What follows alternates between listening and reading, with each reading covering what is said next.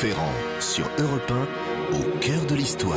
Alors vous le savez, on vous avoue tout sur Europe 1. C'est en se promenant dans la rue que Franck a eu l'idée du thème de notre émission d'aujourd'hui. Bonjour Franck. bonjour Julia, bonjour à tous. En effet, j'ai la chance d'habiter pas très loin de la radio, donc je viens généralement à pied. Et l'autre jour, il y a déjà presque un mois de ça, j'ai vu des gens qui s'arrêtaient sur le trottoir et qui levaient les yeux. Je me suis dit, mais qu'est-ce qui se passe? J'ai levé moi aussi les yeux et tout le monde admirait quelque chose dans le ciel. Cette chose, c'était un dirigeable. Ah bon, vous êtes sûr qu'il y avait un, un dirigeable au-dessus de Paris? Eh bien oui, ça m'a étonné moi aussi, mais je me suis renseigné et j'ai appris ce que faisait ce dirigeable. Nous en parlerons d'ailleurs, si vous voulez, dans la deuxième partie de, de l'émission. Il faut dire que ça reste impressionnant, euh, ces engins-là, mais ne serait-ce que par la taille. En ah oui, oui hein. c'est magnifique. Moi, ça me fascine et je le dis à nos auditeurs, si c'est également votre cas, n'hésitez pas à nous écrire sur le site internet d'Europe 1, www.europe1.fr ou sur la page Facebook de l'émission qui s'appelle... Au qui cœur de l'histoire. Attachez votre ceinture, Julia. Nous allons faire une grande virée en zeppelin.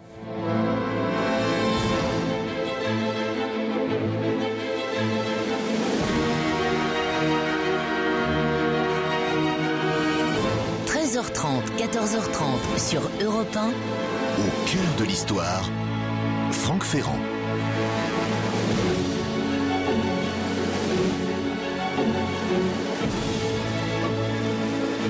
On les appelait vaisseaux du ciel, paquebots volants, ces gigantesques aéronefs euh, ont marqué de leur empreinte glissante les années de l'entre-deux-guerres. Aujourd'hui, c'est du plus grand, du plus somptueux, du plus malchanceux d'entre eux que j'aimerais vous parler, le LZ-129 Hindenburg, qui est aux airs ce que le Titanic est à la mer, à savoir un chef-d'œuvre, mais un chef-d'œuvre naufragé. Imaginez un immense ballon dirigeable de forme un peu ovoïde. Il mesurait 245 mètres de long pour plus de 40 mètres de diamètre dans sa partie la plus épaisse, 42 mètres même. Si vous le posez devant le château de Versailles, je veux dire qu'il euh, occupe presque toute la façade, ou debout, il dépasse la tour Montparnasse de 35 mètres. Vous voyez un peu la, la taille de l'engin. Imaginez tout simplement la tour Montparnasse qui volerait. Le Hindenburg est l'incarnation du de ces années 30 qui, fascinés par le progrès technique et par la puissance de l'Occident, ont eu tendance, vous savez, à tout faire très grand jusqu'à écraser un peu l'être humain. C'était vrai en matière d'architecture, c'est après tout ce sont les premiers grands, euh, immenses gratte-ciel. Euh, C'était vrai euh, dans la décoration, dans toutes sortes de domaines, y compris, vous savez, dans les rassemblements de masse. On a vu l'Italie fasciste, l'Union soviétique, et puis l'Allemagne nazie, bien sûr, multiplier ces immenses rassemblements très, très impressionnants. C'est vrai aussi naturellement pour les grands paquebots dont on a parlé il y a quelques semaines. Vous vous rappelez ces deux mastodontes qu'étaient le Normandie et le Queen Mary, des immenses palaces flottants avec salles de bal, de spectacles, salles de sport, etc. Ces paquebots, euh, souvent, ont été la vitrine des puissances européennes, notamment de la Grande-Bretagne et de la France. Je vous ai dit que l'Angleterre et la France se livraient un véritable, euh, une véritable lutte. lutte hein eh bien, ils le rayonnement de ces deux pays outre-Atlantique. Eh bien, avec les Zeppelin et notamment le Hindenburg, les Allemands ont trouvé encore plus fort parce que eux, ils ont fait voler les paquebots. Plus besoin d'être en bord de mer ou sur les quais pour voir s'étaler à l'époque la puissance européenne à son apogée. Il suffit de lever un peu le nez vers la silhouette immense du Zeppelin. Alors pourquoi ce nom Zeppelin, Zeppelin devrais-je dire Eh bien, vous le savez sans doute, c'est parce que l'homme qui a promu le dirigeable et qui a développé ses applications était le comte Ferdinand von Zeppelin. Euh, on est là dans les années 1900. Ses compatriotes l'appelaient affectueusement le vieux fou. C'est lui qui, avec le célèbre docteur Eckener, avait fondé la Deutsche Zeppelin Reederei. Il est mort, le comte Zeppelin, il est mort en 1917, mais le docteur Eckener, lui, était toujours en vie 20 ans plus tard. Alors, en 1927, un premier dirigeable géant a été lancé. Il s'appelait précisément le Graf von Zeppelin, c'est-à-dire le, le comte de Zeppelin. Il a effectué sa première euh, traversée commerciale de l'Atlantique euh, à l'époque. C'était une véritable révolution dans les transports. D'abord pour la vitesse. Euh, c'est un, c'est un appareil qui ne connaît aucun obstacle et qui se joue évidemment des, du mauvais temps qu'il arrive à contourner. Pour le confort, vous êtes à bord d'un appareil qui n'a quasiment aucune vibration, qui est presque silencieux au point que comme il vole à 200, 200, 250 mètres en moyenne, vous entendez très bien les, les sons qui viennent du sol. Et puis la sécurité, puisque on considère à l'époque ces engins comme extrêmement sûrs même si l'on craint toujours l'embrasement de l'hydrogène, de l'hydrogène qui fait voler la structure. L'idéal, évidemment, ce serait de gonfler ces immenses dirigeables à l'hélium. Là, il serait encore plus sûr. Mais vous voyez que, en plus, quand on a chaud, par exemple, je vous donne un exemple, mais quand on a chaud, là, il n'y a pas de pressurisation ou de problème. On ouvre simplement euh, les fenêtres du Zeppelin et d'un seul coup, on fait rentrer l'air frais. Bref, c'est un engin quasiment idéal et qui a émerveillé les années de l'époque. Sans trans avec cette ambiance jazzy sur Europe vous êtes très bien avec votre euh, robe en lamé et votre coupe de champagne, comme ça, je vois très bien. Chut, pas de champagne. Alors à propos de danger, on en parlera, tiens, dans, dans, quelques temps, vous allez voir ça.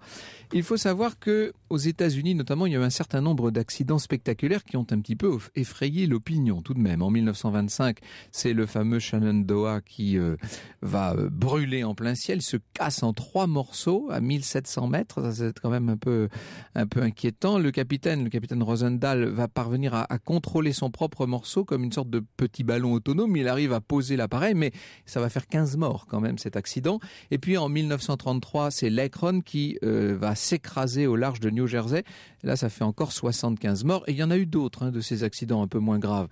Donc c'est une série assez effrayante et qui pousse les ingénieurs allemands à inventer un aéronef encore plus sûr que le Graf von Zeppelin. Euh, au passage, c'est quand même un, avion, j'allais dire. C'est quand même un dirigeable euh, qui euh, a fait 41 fois le tour du monde sans un seul incident et qui a transporté plus de 13 000 passagers sans un seul accident. Mais les, les Allemands se disent qu'on peut faire encore mieux. Alors, quelles sont les différences entre ce premier géant désert, le Graf Zeppelin, et puis son petit frère qui va s'appeler Hindenburg? Alors déjà, quand on les voit, la différence est très, très spectaculaire. Il y en a un qui est totalement allongé, hein, qui a la, forme d'un cigare, le Graf Zeppelin, l'autre qui est beaucoup plus ovoïde et qui ressemble, pour tout vous dire, euh, comme deux gouttes d'eau à un ballon de rugby. C'est donc un peu moins élégant, il faut bien le dire. Mais sur euh, un plan technique et sur le plan de la sécurité, le nouvel appareil est beaucoup mieux, bien entendu. Il a quatre moteurs au lieu de cinq. Ce sont des moteurs qui ne fonctionnent plus à l'essence, mais à l'huile lourde, qui est beaucoup moins euh, inflammable. Et puis surtout, ces ballonnets ont été conçus pour être gonflés à l'hélium. C'est pour ça que le ballon est beaucoup plus gros, parce que l'hélium est un peu moins portant que, plus lourd et moins portant que l'hydrogène. Donc il va falloir en mettre davantage pour porter la même charge, même une charge un peu plus grande pour tout vous dire. Alors, euh, l'avantage de l'hélium, bien entendu, c'est que ça ne brûle pas. Donc ça, c'est tout à fait extraordinaire. Le problème, c'est qu'à l'époque, les seules réserves naturelles connues se trouvent aux États-Unis. Or, après avoir laissé espérer aux Allemands un accord de livraison d'hélium, en 1930, le L-129 est encore prévu pour voler l'hélium, les Américains vont fermer les vannes et refuser de, de euh, coopérer. Et finalement, le ballon sera gonflé à l'hydrogène. 190 000 mètres cubes d'hydrogène quand même. Alors là, ultra inflammable. Pourquoi? Eh bien parce qu'entre-temps, il y a pas mal de choses qui ont changé. D'abord, et c'est peut-être le plus important, on y reviendra tout à l'heure, d'abord il y a la concurrence des lignes d'aviation, notamment American Airlines qui s'est, qui s'est équipé de toute une flottille de DC-3 et les, les Américains très lancés sur le transport par avion n'ont pas trop envie de la concurrence des grands euh, zeppelins allemands. Euh, et puis surtout, il y a un énorme désaccord politique. Vous savez que depuis 1933, les nazis sont au pouvoir en Allemagne, et ça, si j'ose dire, ce sera le véritable point faible du Hindenburg. Évidemment, le géant désert va se trouver accaparé par le parti nazi à des fins de propagande. Au printemps 36, euh, quand il sort d'atelier, je devrais dire quand il sort de son hangar, puisqu'en fait, euh, c'est le hangar a été plutôt l'atelier a été transformé en hangar. Goebbels décide de le baptiser Adolf Hitler Seulement le dictateur euh, qui n'a pas tellement confiance dans les zeppelins se dit que c'est dangereux cette histoire. Il refuse et finalement on va honorer à titre posthume le chancelier Hindenburg. On se dit que ça, au moins, ça ne mange pas de pain. Tout de suite, les nazis décident en revanche de faire peindre au flanc du navire volant deux gigantesques croix gammées de 30 mètres de hauteur. Seulement là, le docteur Eckner, euh, qui n'a pas tellement de sympathie pour le nouveau régime euh, et qui trouve que Hitler tire un peu trop la couverture à lui, va, euh, va marquer le pas, si je puis dire, et il va donner l'ordre à ses peintres de ne, de ne peindre les drapeaux nazis que sur l'arrière de l'appareil, en fait, sur les gouvernails.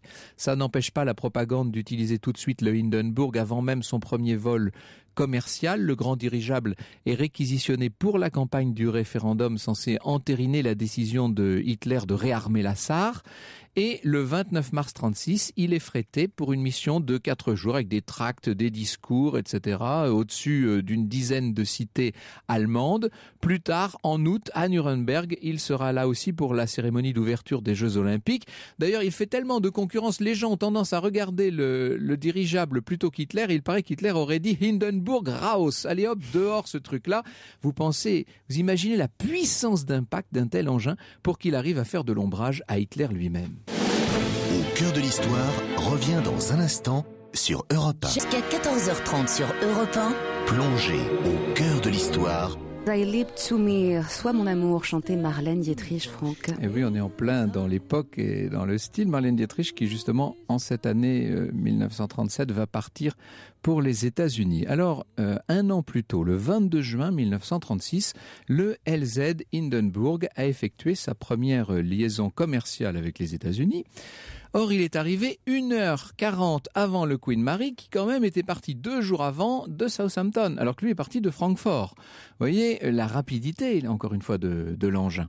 C'est un véritable triomphe aux États-Unis, mais aussi en Amérique du Sud et dans une façon générale dans toutes les capitales d'Europe. On peut dire que le Hindenburg devient le must pour le voyage. Le seul problème, c'est le tout petit nombre de passagers. Au départ, 50 passagers au maximum, avec des coûts de fonctionnement extrêmement élevés. Il faut un personnel considérable pour tout ça, notamment pour euh, accueillir le, dirigeable quand il arrive. Tout ça réserve la traversée aux personnes très fortunées, bien entendu. Ce qui, sur le plan de la publicité, n'est pas mauvais, parce que évidemment, il n'y a que des people à bord. Donc, euh, pour les journalistes, pour les photographes de presse, tout ça est formidable. Autre limite, ce sont quand même les conditions atmosphériques qui poussent le dirigeable à ne voguer naturellement qu'à la belle saison. Alors pendant sa première saison, donc celle de 1936, le Hindenburg effectue 10 navettes aller-retour avec les États-Unis. Euh, il transporte un petit peu plus de 1000 passagers, tout ça sans le moindre incident. On peut dire qu'à ce moment-là, son avenir semble assuré. Alors pendant l'hiver 36-37, on effectue un certain nombre de transformations. On ajoute notamment de nouvelles cabines pour les passagers en rognant un peu sur le sur le la partie réservée à l'équipage. Je me rends compte en vous disant ça que je vous ai pas encore fait visiter l'appareil. Ben, on attend que ça? Ben voilà, alors si vous permettez, je vous précède. Alors d'abord, on, monte, on entre dans le ventre du navire volant par deux escaliers escamotables qui sont en dural humain. Tout est en dural à bord hein, euh, et, en, et en aluminium. Euh, ça se trouve sous la coque, donc vous arrivez d'abord évidemment sur le pont inférieur, le pont B. Alors à tribord, vous avez un grand couloir vitré qui va comme ça jusqu'au bar. Le bar qui est fermé hermétiquement parce qu'il sert de fumoir. Inutile de vous dire qu'on on confisque les briquets, les allumettes, etc. aux passagers. Il ne s'agit pas d'aller faire du, du feu à bord. Tout ça est très bien isolé dans le fumoir. Au centre, vous avez les douches des passagers, et puis à bâbord, les installations pour l'équipage, douche, cuisine, carré, etc. Et il faut prendre un autre escalier pour monter au pont supérieur qui s'appelle le pont A, qui là est beaucoup plus large. Euh, tout le centre du pont est occupé par les cabines des passagers. C'est des toutes petites cabines hein, qui font 2 mètres sur 1 mètre 50 avec euh, deux couchettes superposées, une petite penderie, un lavabo en bakélite blanc, euh, de l'eau chaude et froide et même un distributeur de jus de fruits. ça vaut mieux parce que de toute façon on peut pas circuler, il vaut mieux que tout soit à portée de main. Pour vous donner une idée de l'esthétique de tout ça, les murs sont gris très pâle, gris perle, les tapis sont jaunes et bleus aux couleurs de, de la firme. Le problème de ces cabines, outre leur exiguïté, c'est qu'elles ont donc été situées au centre, si vous voulez, au cœur du pont A, et que donc elles n'ont aucune ouverture vers l'extérieur. Ça, c'est moins bien que sur le Graf Zeppelin, où depuis les, couchettes, depuis les cabines, on pouvait voir le paysage. Ça, c'était tout à fait extraordinaire. Là, si vous voulez euh, profiter de cette vue éblouissante sur le paysage, sur l'océan notamment, eh bien, il faut sortir des cabines euh, et se diriger soit à bâbord vers le salon et le salon de lecture, qui sont un petit peu surélevés par rapport à la coursive panoramique. Et là, vous avez de grandes baies qui sont d'ailleurs euh, inclinées pour mieux voir le sol ou la mer. Soit vous allez à tribord vers la salle à manger, vous avez deux grandes tables de 15 couverts qui permettent de satisfaire tous les passagers en deux services. Là aussi, en contrebas, il faut imaginer une grande coursive panoramique. Je ne sais pas si vous avez vu le troisième volet des aventures d'Indiana Jones, hein, où on voit Harrison Ford et Sean Connery qui évoluent dans une reconstitution du, du Hindenburg. Ça fait rêver toujours ce, ce truc-là. Alors au départ, le dirigeable était donc conçu pour emmener 50 passagers, mais après les aménagements de l'hiver 36-37, le pont B est donc modifié on a rogné sur l'espace du personnel et on a créé de nouvelles cabines, euh, ce qui porte au total le nombre de passagers à 72. À noter que les, nouvelles cabines, elles sont mises à l'extérieur, ce qui fait qu'elles sont très prisées parce qu'elles, elles ont la vue sur, euh, sur le paysage précisément. Le service à bord est assuré par une demi-douzaine de stewards et une femme de chambre sous les ordres d'un chef steward qui avait déjà fait ses preuves sur le Graf Zeppelin. Euh, à leur arrivée, les passagers, quand ils montent à bord, les passagers se voient remettre une plaquette très luxueuse qui présente le plan du dirigeable, qui rappelle les consignes de sécurité et qui donne la liste du personnel embarqué et la liste des passagers. À chaque fois, on imprime une liste très soigneusement. Tout ça est à l'allemande, inutile de vous dire. Euh, la plaquette datée des 1, 2 et 3 mai 1937 va devenir un objet de collection, malheureusement, puisque ça va être le vol fatal du Hindenburg. Alors attention, nous sommes donc euh, à ce rendez-vous fatidique du printemps 37. Le patron de la compagnie, le docteur Eckner, vient d'annoncer la transformation de la ligne Francfort-Lakehurst, donc Allemagne aux États-Unis, en ligne régulière hebdomadaire. Et ce vol de début mai est le premier de ce qui doit être une longue série de navettes. Le monde entier, à l'époque, a les yeux rivés sur le Hindenburg qui, impérial, majestueux, s'élève dans les airs en emportant sa poignée de passagers dorés sur tranche. Bien sûr, euh, sur les gouvernails, il y a toujours ce drapeau à croix gammée qui fait un peu tâche, et d'autant plus que l'effroyable bombardement de Guernica en Espagne euh, par des avions du Reich vient juste d'avoir lieu et que le moins qu'on puisse dire, c'est que l'Allemagne nazie n'a pas bonne presse à travers la planète. La traversée s'effectue sous de mauvais auspices. Il fait assez mauvais temps, il faut contourner plusieurs tempêtes. On va prendre 8 heures de retard sur le sur euh, l'horaire, alors que d'habitude les, les arrivent vraiment comme un comme un train à l'heure dite. Euh, mais les passagers ne s'inquiètent pas trop. Dans la nacelle qu'on appelle la gondola, l'atmosphère est en revanche électrique parce que l'ancien euh, commandant, le commandant sortant, Lehmann, qui vient d'être nommé euh, à la direction américaine de la compagnie, passe son temps à donner des recommandations au nouveau capitaine prusse, qui lui n'en peut plus. Le navire, si l'on peut dire volant, est en vue des côtes américaines. Il passe au-dessus de l'Hudson. Hein, ça c'est un spectacle magnifique. À 18 heures, il approche enfin de Lakehurst. C'est le temps d'aller boucler les valises. L'atterrissage est prévu pour 19h30 précise.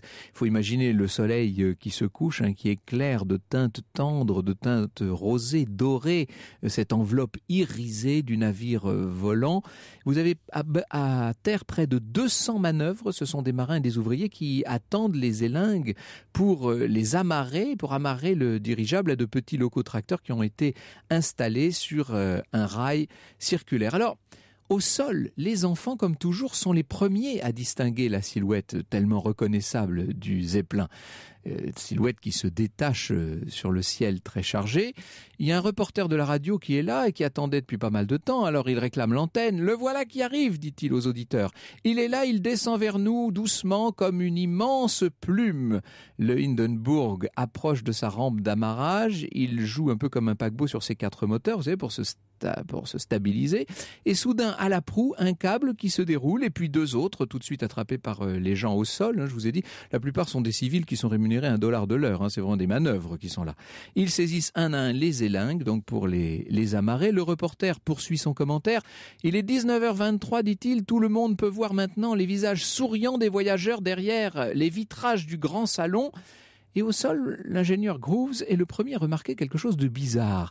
À peu près au tiers arrière de l'enveloppe, il y a une espèce de tache vert pâle, une tache circulaire un peu comme le faisceau d'une lampe euh, électrique, euh, qui se promène sur l'enveloppe de l'appareil. Et puis soudain, la tache fuse vers le sommet du dirigeable et sur son passage, il y a une sorte de sillon de flamme qui se détache. La toile s'embrase, la flamèche continue son chemin vers l'avant et là, d'un seul coup, une pyramide de feu de 150 mètres au-dessus du Zeppelin. C'est de l'hydrogène, en plus. Hein. Donc quand ça brûle, ça fait une lumière très blanche, très aveuglante. Je vous laisse avec le reportage de la radio. Il s'appelle Herbert Morrison, le, le reporter de la radio de New York. Euh, il en était encore à ses grandes envolées lyriques. Hein. Il disait Le soleil couchant frappe les vitres du pont d'observation à l'ouest, qui étincelle comme des joyaux sur un fond de velours sombre. Et puis tout d'un coup, il change de ton. Oh Oh, oh, ça prend feu, hurle-t-il. Sauvez-vous, oh, c'est affreux, ça brûle, il tombe. C'est une des... Oh, catastrophe terrible, mesdames et messieurs, il y a de la fumée, des flammes. Je vais devoir m'arrêter un instant. Oh, c'est la pire chose. Oh, toute l'humanité. L'accident dure 32 secondes seulement, pensez-vous. Inutile de vous dire que sur place, ça paraît à tous une éternité. Au cœur de l'histoire revient dans un instant sur Europe 1. Nous sommes euh, sur Europe 1 au cœur de l'histoire, de la catastrophique histoire, devrais-je dire, du dirigeable Hindenburg. Oui, le plus extraordinaire peut-être dans cette catastrophe, ce soir du 6 mai 1937, c'est que 62 personnes aient finalement pu survivre à un tel brasier. Il y a eu 39 membres d'équipage sur 61 qui s'en sont sortis et 23 passagers sur 36. Euh, sous l'effet de la chaleur, le dirigeable s'est cabré, il a l'arrière euh, en l'air et puis il est retombé doucement tout embrasé, hein, bien entendu. Alors certains occupants affolés ont sauté de 30 mètres et plus. Évidemment, ils se sont tués. D'autres ont su attendre le bon moment. Ils ont sauté euh, par les baies des promeneurs, vous savez, ces grandes baies, grandes ouvertes. Il y a eu des miraculés, comme le petit chasseur Werner Franz, qui a 15 ans. Lui saute sur l'herbe du terrain, il reste un moment sonné, et quand il reprend conscience, il se rend compte trop tard que son uniforme a pris feu. Il, il s'apprête à brûler vif quand d'un seul coup, un réservoir d'eau potable éclate et que lui tombe dessus 200 litres d'eau. Eh bien, il en sera quitte pour la douche l'ancien pilote du Zeppelin, le colonel Lehmann, a tenu à rester à bord aussi longtemps que possible. Alors lui, on l'extrait de la fournaise, il est couvert de flamèche. Ich kann nicht verstehen, répète-t-il. Je ne comprends pas, je ne comprends pas. Il s'éteindra euh, quelques heures plus tard à l'hôpital, euh, car sa moelle épinière a été atteinte. Il est temps de prévenir les responsables. On joint le docteur Eckner à Graz, en Autriche. Lui est totalement anéanti, bien entendu. Très vite, il rejoint comme il peut Cherbourg euh, grâce à des avions et il embarque sur le paquebot Europa pour arriver euh, à New York dans cinq jours pour assister à l'enquête. Il est convaincu, euh, Eckner, il est convaincu d'un acte de sabotage, mais le maréchal Göring, qui est ministre de l'air du Reich, pour des raisons diplomatiques, lui a demandé de rester évasif. Il y a un autre dirigeant qui est convaincu du sabotage, c'est Hitler lui-même. On a informé le Führer à Berchtesgaden où il était en train de fêter son 48e anniversaire. Cela ne me surprend pas du tout, a déclaré le chancelier. Je m'étonne même que ne soit pas arrivé plus tôt. Il faut vous dire que depuis quelques semaines, les lettres de menaces s'accumulent sur les bureaux de la Deutsche Reederei. Je vous ai parlé de cette histoire de Guernica et du bombardement euh, de la participation des nazis à la guerre d'Espagne. Il y a aussi les persécutions contre les juifs qui atteignent des sommets en Allemagne, le réarmement de la Rhénanie. Tout ça ne pouvait qu'attiser l'opposition déjà violente à Hitler de l'autre côté de l'Atlantique. L'enquête va être menée sur fond de contentieux. C'est une enquête extrêmement dure, bien entendu.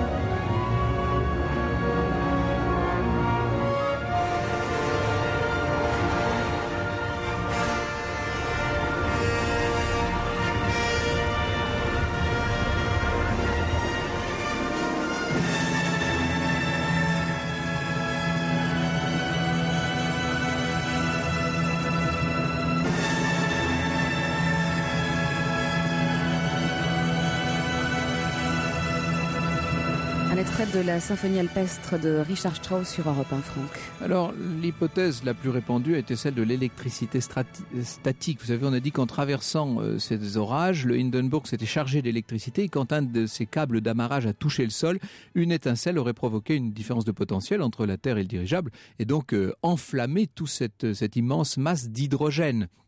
Seulement attention, le feu a bien pris à l'arrière de l'appareil et pas à l'avant où étaient les câbles. Donc vous voyez que cette thèse est quand même bizarre. Certains ont évoqué la possibilité d'une pale d'hélice brisée, d'autres ont évoqué l'imprudence d'un fumeur ou le mauvais fonctionnement d'une soupape, vous savez les soupapes de ballast qui auraient pu rester en l'occurrence euh, ouvertes.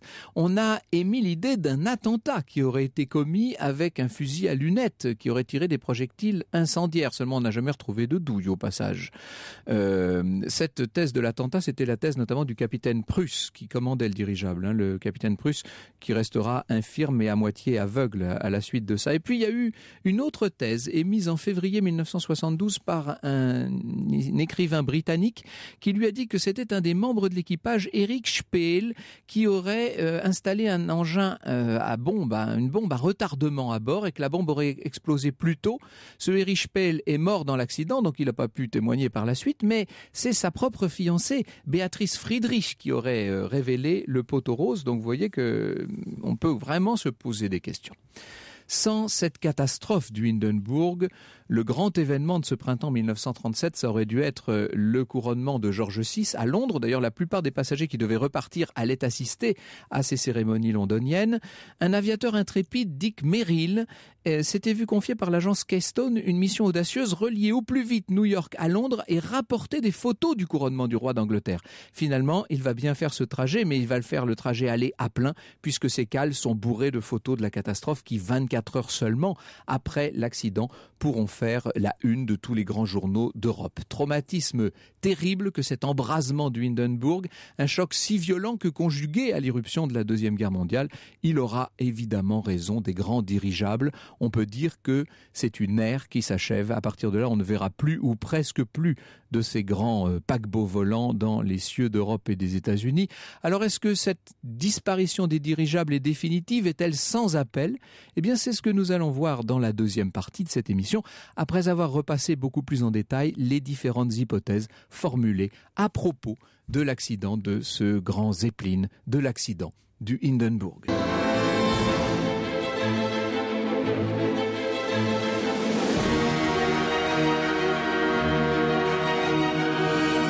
13h30, 14h30 sur Europe 1. Au cœur de l'histoire, Franck Ferrand. On vous retrouve Franck avec euh, votre invité aujourd'hui, Gérard Feltzer, qui est ancien pilote et ancien directeur du musée de l'air et de l'espace. Oui, bonjour Gérard Feltzer. Vous avez été euh, le patron de ce merveilleux endroit qui est une véritable machine à rêve jusqu'à l'été dernier.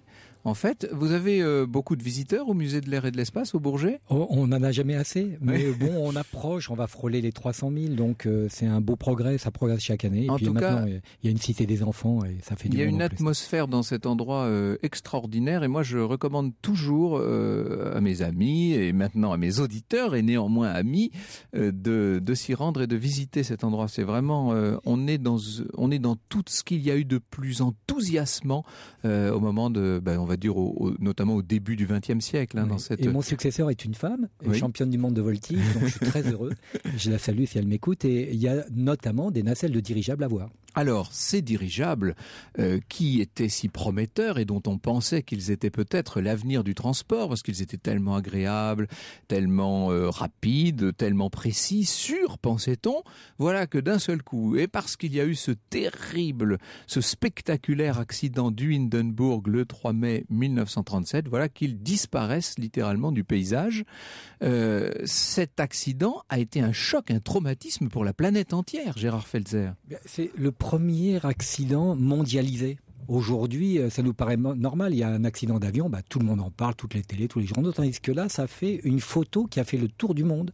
Et, c'est vrai que cet embrasement est très impressionnant. Alors que, comme vous l'avez dit, il n'y a pas eu tant de victimes que ça. Ça a été un traumatisme. Et il est vrai, comme vous l'avez dit aussi, que l'hélium n'était fourni. C'est un gaz qu'on trouve euh, dans les mines d'hélium. Que par les États-Unis. Que par les États-Unis. Maintenant, il y en a en Pologne, il y a un peu partout. Alors, je ne sais pas ce que j'en ai fait, mais il y a un monsieur, c'est Pierre, qui par Facebook nous dit mais pourquoi l'hélium ne s'embrasse-t-il pas? Eh ben, c'est un gaz inerte, donc euh, tout, simplement.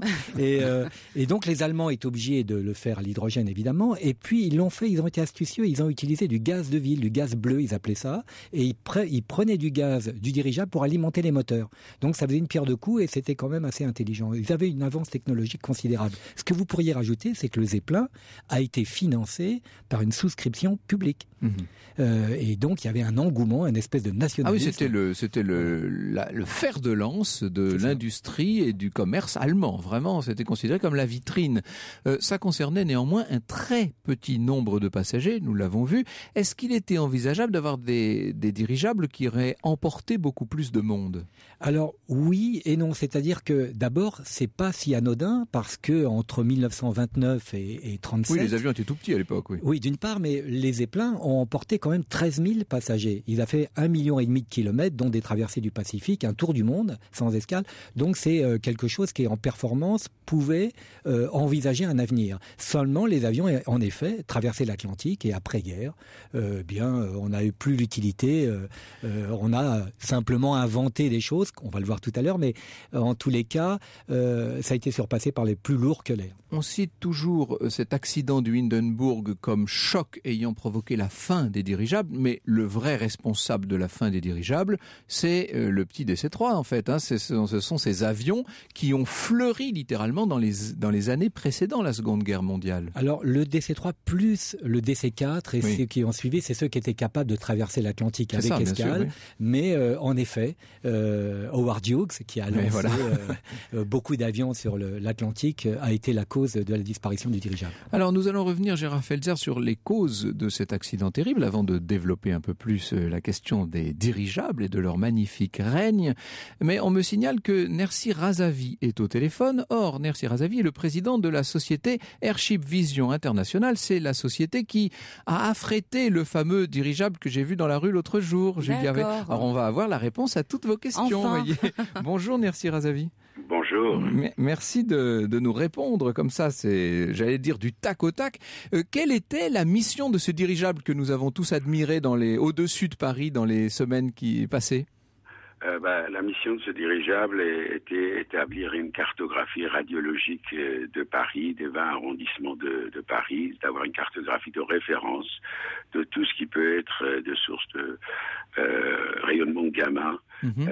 qui pourrait... Oui, en fait, vous ne voulez pas employer le terme de radioactivité pour n'effrayer personne parce qu'on est sur des mesures infinitésimales, c'est bien ça, mais c'est bien, bien, bien le but en fait. Hein absolument, absolument. Il n'y a, aucun lien, je profite de l'occasion de préciser une fois de plus euh, aucun lien avec l'accident de Fukushima qui était le euh, qui s'est produit exactement le même jour de notre arrivée au Bourget euh, et bon et qu'on a pas on n'a jamais parlé autant de radioactivité depuis Tchernobyl que cette date-là et que bon j'imagine que vous vous vous vous êtes promené vous étiez à bord non? Vous êtes allé, allé dans le dirigeable pendant qu'il survolait Paris?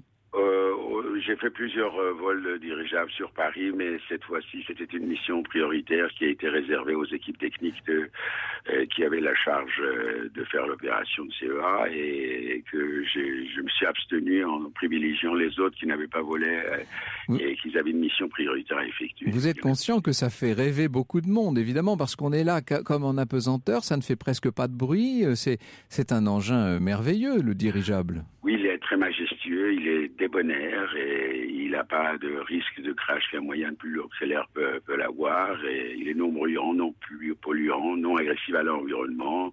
Euh, c'est un engin, engin de tendance, mettons.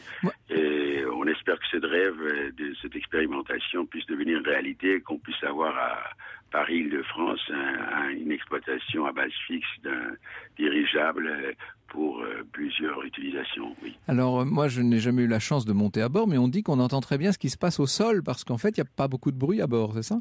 Oui, oui, absolument, parce que les moteurs euh, ne sont pas fixés à la cabine, au contraire des autres engins.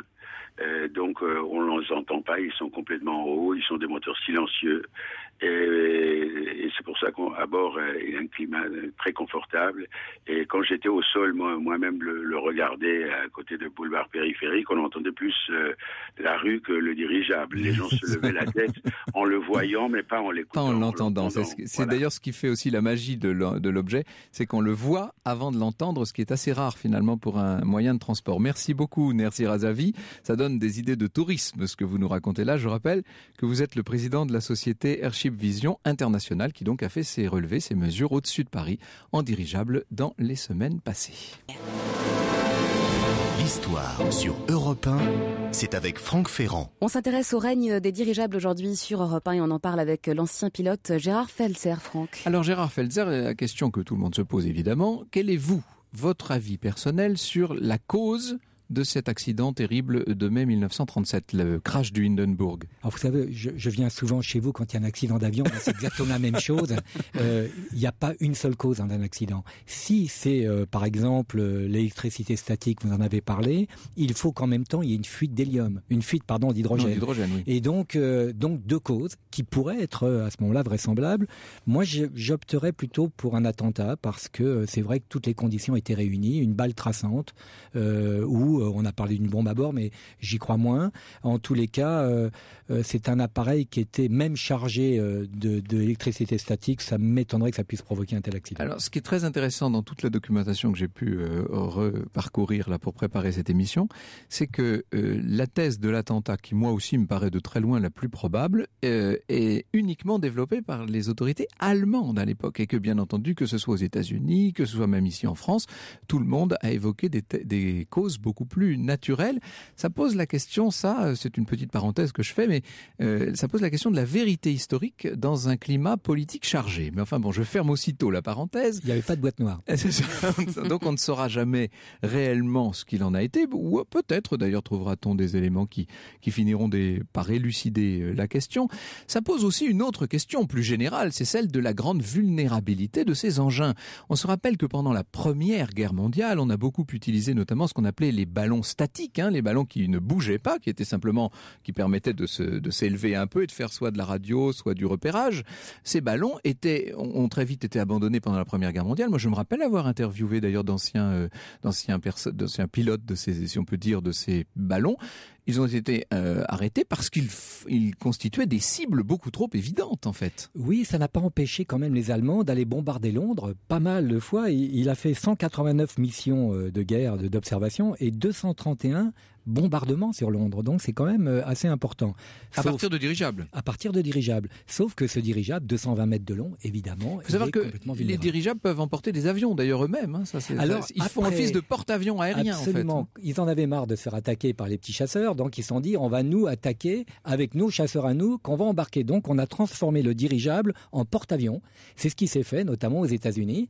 Et euh, il y avait un crochet et euh, les pilotes assez doués quand même, c'était pas évident avec les turbulences, allaient ça accroché au crochet, il était remonté par cette grue et il y avait un hangar à avion dans le dirigeable. Vous voyez le, gigantisme euh, de ce genre d'aventure. Alors Gérard Felzer, puisque j'évoque la Première Guerre mondiale, il faut bien comprendre que nous avons pris cette question aujourd'hui un peu à l'envers, puisque je vous ai raconté la fin des dirigeables. Mais ce qu'il faut que nous disions en quelques mots seulement, mais pour, euh, balayer un peu la chronologie de cette remarquable invention, c'est à partir de quand voit-on euh, émerger les dirigeables. Alors, tout a commencé par les frères Montgolfier, qui n'étaient pas des dirigeables, qui du ballon. Mais très rapidement, on a eu euh, le ballon à hydrogène par Charles, et puis euh, quelques années après, eh bien, on a eu le premier dirigeable par euh, Charles Renard, et puis qui a fait le premier circuit fermé. On est là dans les années 1830. On est non non, on est plutôt dans 1884. C'est ça, c'est toute la fin. la voilà, c'est vraiment la fin. Et et euh, à Meudon, il y a un magnifique hangar, le hangar Y, euh, qui contenait ce dirigeable Le France, ou La France plutôt,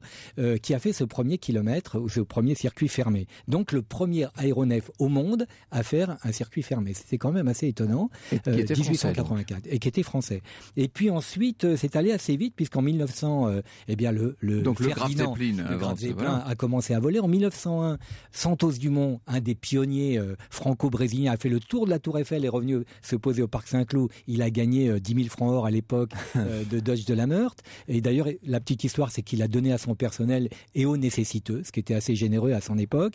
Et puis ensuite, on est arrivé rapidement euh, à la guerre de 14 qu'on connaît, et puis l'âge d'or, qui est l'entre-deux-guerres. Et l'entre-deux-guerres avec les éplats, mais pas seulement. Il a Cron aux États-Unis. il y a eu des tentatives anglaises, le R101 par exemple, gigantesque, le plus grand. Et il a voulu faire Londres, les Indes, et il s'est craché malheureusement en Picardie, près de Beauvais. Euh, ça s'est mal terminé, mais il a voulu voler dans les orages. C'est ça la vulnérabilité de, ces engins. Alors on parlait l'autre jour des, grands paquebots transatlantiques et on disait qu'à l'époque il n'y avait évidemment quasiment pas de enfin pas quasiment il n'y avait pas de concurrence du tout. On était bien obligé de prendre les paquebots pour traverser l'Atlantique. À partir des dirigeables arrive une première concurrence au paquebot mais réservé à un, petit nombre de gens très fortunés, nous l'avons dit. Oui, c'est vrai que le Berlin-Rio, Berlin-New euh, euh, York, c'est trois jours, c'est très peu. Dans des conditions de confort assez sympas. Et on aurait pu effectivement aller plus loin si l'avion n'était pas arrivé, c'est vrai. Mais il y aura d'autres utilisations. Alors la vie à bord était quand même assez contrainte, il faut le dire, parce qu'il n'y avait pas de vibration ou presque pas. il, faisait souvent beau parce qu'on arrive à éviter avec cet engin, on arrive à peu près à éviter les, grains. Simplement, on a très peu d'espace. Euh, les, les, cabines, notamment, d'ailleurs j'allais dire couchettes, sont vraiment, euh, pour des gens qui sont habitués aux, cabines de première classe très spacieuses avec des salons, etc., là d'un seul coup on est coincé dans des toutes, toutes, toutes petites cabines. Oui, mais il y avait un confort de hôtel de 4 étoiles, pardon, avec 50 passagers et 70 membres d'équipage. Donc, euh, beaucoup de personnel. Ça faisait quand même beaucoup de personnel. Un, un piano, un salon fumoir, comme vous l'avez dit, un piano en aluminium, eh oui.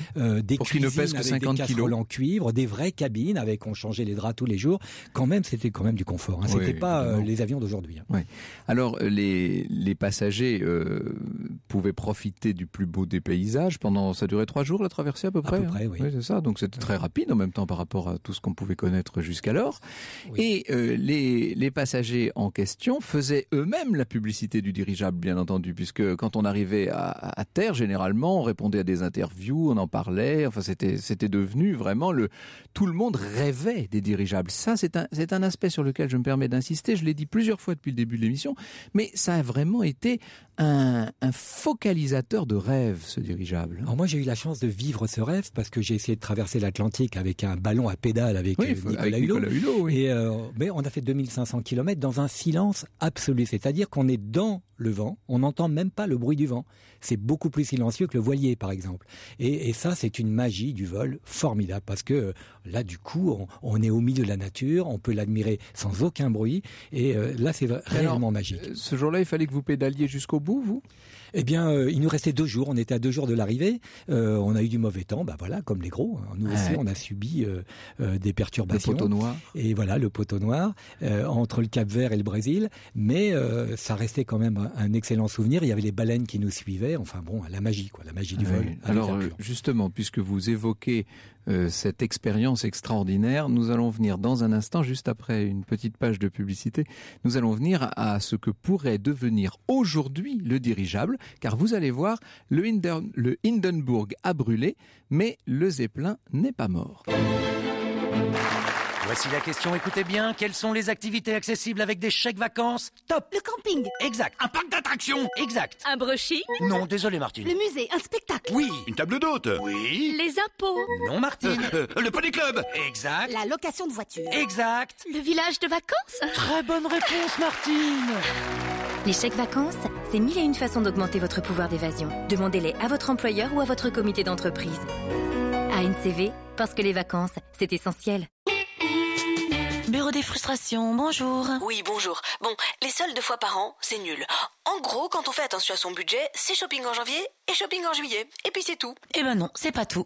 On peut aussi profiter maintenant des soldes exceptionnels à la Halle et sur la halle.com avec des offres jusqu'à moins 70%. Oh, génial. Bon, ben je vous laisse, j'ai shopping. la Halle, ça me va bien, non? Du 16 au 22 avril, conditions dans les magasins participants. Pour lutter contre la chaleur cet été, vous pouvez dormir dans votre réfrigérateur. Ah, mais pousse-toi un peu, chérie, tu prends toute la place. Je peux pas, là, j'ai le coude dans le bac à légumes. Ou bien vous pouvez aller chez Seat et vous offrir l'Ibiza SC 1 litre de TDI référence climatisé pour seulement 9 990 euros. Oui, vous avez bien entendu, moins de 10 000 euros pour une Ibiza diesel avec air conditionné, rétroviseur électrique et dégivrant, vitre avant électrique. Venez vite l'essayer chez votre distributeur Seat. Offre limitée à 500 véhicules sous conditions de reprise, voire conditions sur seat.fr. Franck Ferrand sur Europe 1, au cœur de l'histoire. Et si vous avez des questions ou des témoignages concernant euh, les dirigeables, bah, c'est le moment de le faire. Hein, Europe1.fr, puis il y a aussi la page Facebook de Cœur de l'Histoire, Franck. Alors justement, il y a des questions, euh, il y a aussi des, témoignages. C'est Christophe par Internet qui nous dit une anecdote à propos du comte Zeppelin. Il a fondé en fait cinq autres entreprises. Une qui fabriquait des boîtes de vitesse et des systèmes de transmission.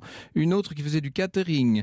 Euh, une de production d'hydrogène et d'oxygène. Une pour la fabrication de structures en, en aluminium et même une fonderie batteries d'aluminium. Et nous dit Christophe, figurez-vous que toutes ces sociétés qui sont euh, implantées à Friedrichshafen, au bord du lac de Constance, ont subsisté jusqu'à nos jours. C'était un de ces, un de ces grands industriels hein, de l'époque, tout simplement. Il y a un très beau musée à Friedrichshafen. Il faut y aller au lac de Constance, c'est très joli. Et sur le lac de Constance, comme les dirigeables étaient très gros et qu'il y avait du vent, les hangars étaient flottants, c'est-à-dire qu'ils s'adaptaient au vent pour pouvoir faire entrer le dirigeable plus facilement. Alors Pierre nous demande, un autre Pierre nous demande sur Facebook, est-ce envisageable d'imaginer une compagnie de transport civil à grande échelle de dirigeables? Moi je pense, je pense que, alors, ça sera pour pas le tourisme alors. hein Pour le tourisme, là, la mairie de Paris a, a financé un petit dirigeable prototype pour pouvoir euh, expérimenter euh, des vols touristiques autour de Paris. Ça remplacerait l'hélicoptère, à mon avis, euh, beaucoup plus propre, beaucoup moins bruyant, et euh, il y a peut-être quelque chose à faire. C'est des niches, on fera pas du transport transatlantique. Alors justement, à ce propos, nous avons en ligne Hervé Kuhlmann, qui est ingénieur de recherche au laboratoire SATI de l'École normale supérieure de Cachan et, et qui dirige l'association Dirisoft Recherche, une association qui recoupe 25 laboratoires et grandes écoles et dont le but est justement d'utiliser hein, le dirigeable. Bonjour Hervé Kuhlmann. Bonjour à vous. Vous avez, Euh, bah, vous avez un grand projet, vous expliquez-nous. eh ben, écoutez, on est, on, on est missionné par le ministère de l'écologie à travers la, la direction de la recherche et l'innovation pour réfléchir aux, aux futurs gros porteurs. Et pour arriver à, à- à ce but, donc c'est les, les transporteurs de charges lourdes, euh, on a décidé d'aller en taille croissante. Donc euh, on part de petits ballons, on a déjà fait des, des petits ballons de 160 mètres cubes dans lesquels on a volé dans le Grand Palais, on l'a équipé d'une pile à combustible et donc on a été les premiers. On est, oui, à- 65 on est loin des 190 000 mètres cubes du Hindenburg, là. hein. Oui, oui, oui, on est ridicule par rapport à ça, mais, mais on vit aussi une, une aventure euh, merveilleuse, puisqu'à travers ces petits ballons, on, on forme tous nos chercheurs à- aux problématiques euh, des dirigeables. Et donc, on a fait 160 mètres cubes équipés d'une pile à combustible, et on a été les premiers au monde à propulser un aéronef avec, grâce à une pile à combustible.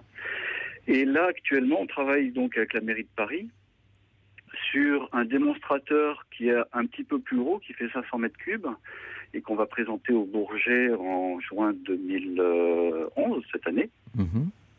Et ce, et ce dirigeable a la particularité de pouvoir emporter une charge variable, c'est un peu technique, mais équivalent au poids du volume déplacé. C'est-à-dire que on pourra transporter 500 kilos avec ce ballon, en plus de son poids normal de, de constitution. Alors, ne, ne prenez pas mal du tout ma question, mais on a toujours l'impression que ces projets euh, avec des dirigeables ont un caractère un peu folklorique. Et on se demande quel est le rapport par rapport tout simplement à l'hélicoptère.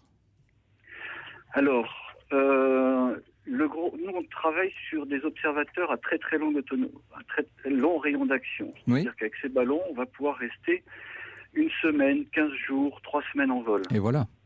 On, on a nos, nos amis am- américains qui fabriquent un ballon qui devrait voler d'ici deux ans à 6000 mètres d'altitude pendant trois semaines. Mhm. Donc, Donc on c'est une très très même- très grande euh, autonomie en vol. Oui, ben ça, on consomme extrêmement peu. Oui. Et donc, toute la variation de charge euh, dont j'ai parlé tout à l'heure sert à emmener du carburant ou de l'énergie. Et on va consommer cette énergie sur une grande durée de temps. Donc, ça va permettre de faire, dans un premier temps, de l'observation maritime, c'est-à-dire aller voir euh, les pollueurs, les, les boat people, les bateaux rapides à faible signature euh, radar, les containers euh, semi-immergés et, tout un tas d'observations qu'on peut faire, mais ça peut être aussi des relevés de pollution. On, a une gamme de capteurs potentiels qui est, qui est énorme. Et vous imaginez-vous des débouchés dans l'industrie du tourisme, Hervé Kuhlmann? Ça va faire partie d'une longue progression. Mhm. C'est-à-dire qu'on va déjà euh, constituer euh, un socle académique dans un premier temps. On va aussi constituer une, une économie, c'est-à-dire une industrie du dirigeable. Euh, et, et à partir de là, on va apprendre notre métier. Et, et au fur et à mesure, on va, on va faire des ballons de plus en plus grands, de plus en plus gros, et donc qui, termineront par 100 000, 200 000, 500 000 mètres cubes. Et là, on pourra faire du transport de, passagers ou, de l'hôtel euh, de l'hôtel navigant ou des, choses comme ça. C'est tout à fait euh, envisageable. D'hôtellerie embarquée, emportée dans les airs, ça fait rêver. Je sais qu'il y avait quelques années au, Kenya, on pouvait faire des safaris en dirigeable. Je ne sais pas si c'est toujours le cas actuellement. En, montgolfière. En montgolfière. Ah, c'est en montgolfière, oui, d'accord. Merci infiniment, Hervé Kuhlmann faut savoir aussi, c'est que plus les ballons sont gros et plus ils résistent à la météo. Eh oui, bien sûr, c'est ça. Oui, c'est très important de le dire. On aurait presque l'impression inverse a priori quand on ne connaît pas le sujet. Et, et l'autre raison de notre progression de taille, c'est aussi l'intégration sociologique. Il faut habituer les gens eh à revoir voler ces, ces gros navires, et donc commencer par des petits. Mhm. On ne verra pas dans un premier temps, c'est pour ça qu'il faut faire de l'observation euh, maritime. Et une fois qu'on aura bien validé, bien sécurisé tous les systèmes, on pourra les mettre en observation terrestre. Merci beaucoup. Nous souhaitons bon vent donc euh, à votre association Dirisoft Recherche. Euh, pour euh, tous les projets dont vous nous avez parlé.